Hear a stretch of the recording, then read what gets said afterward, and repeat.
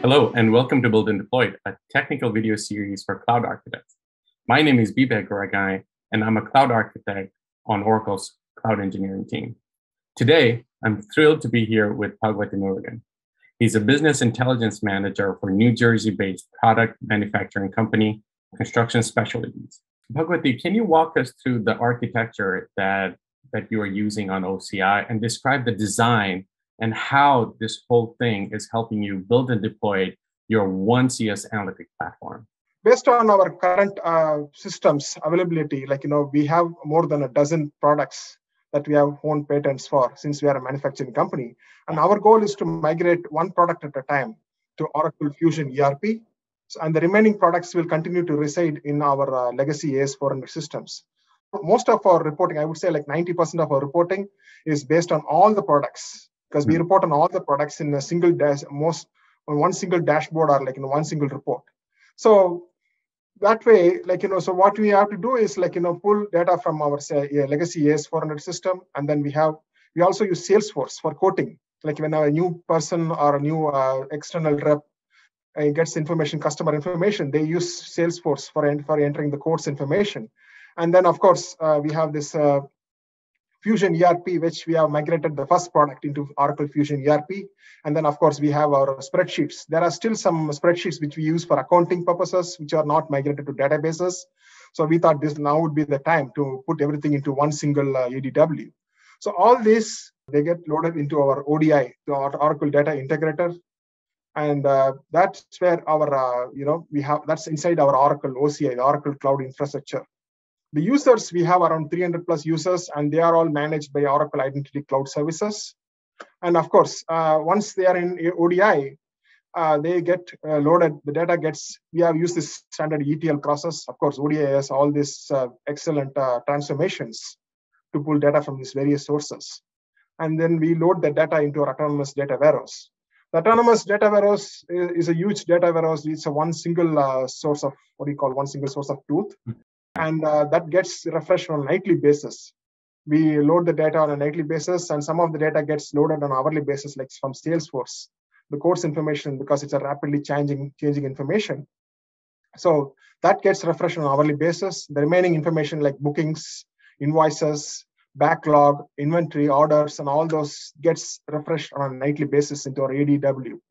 From ADW, once the refresh happens on a nightly basis, the dashboards and reports that we have built in OAC, they gets refreshed. We use this dataset refresh and data flow refresh in the prior versions. They get refreshed and the dashboards and self-service environments are available for user view like around 8 a.m. EST in the morning.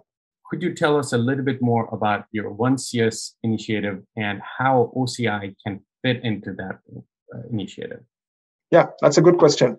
So, Bibek, uh, the way so far the construction specialties worked is like you know each office in each region, whether it's North America or Europe or Middle East or uh, Asia or Southeast Asia, people they had their own systems. Mm-hmm. Like you know, at least North America is much more advanced with all the latest databases, even on-prem. But in Europe, we still use uh, spreadsheets and yeah. older uh, DBase files. So we thought uh, this would be a perfect time to bring all those information into a single uh, ADW, which aligns perfectly well with our One CS initiative, because that's our goal uh, for uh, CS to move forward. Another challenge there is like, you know, as I mentioned before, we wanted to see all this information. Like say, for example, now senior management sitting in US, they don't want not only see just the US part, they also wanted to see what's going on in the world, in the rest of the world. So till now, they are not able to do that and they were just only able to see like you know even in SQL Server or Power BI, which we currently have, they can only see like okay, this is North America, which has both US and Canada. This is separate. If you want to see something in Europe, like okay, let's open an Excel-based uh, spreadsheet or Excel-based dashboard.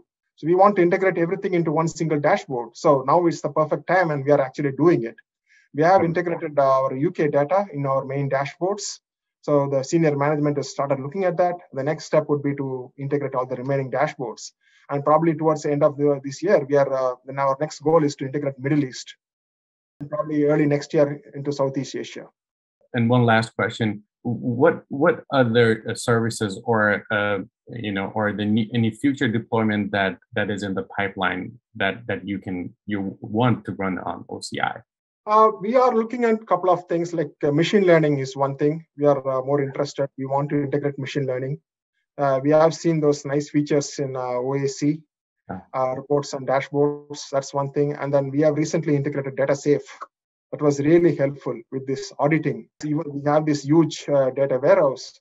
having that data safe, that's really helping us to identify what is that, you know, what it gives a good auditing functionality on the warehouse yes totally. That's that's another uh, one thing that we are looking into. And then of course uh, ai artificial intelligence machine learning those are some of the things that we are more interested and we are working with our oracle partners as well. Great. And uh, thank you so much for joining today. Uh, this has been built and deployed. Thank you for joining us uh, and stay tuned for more technical conversation with oci customers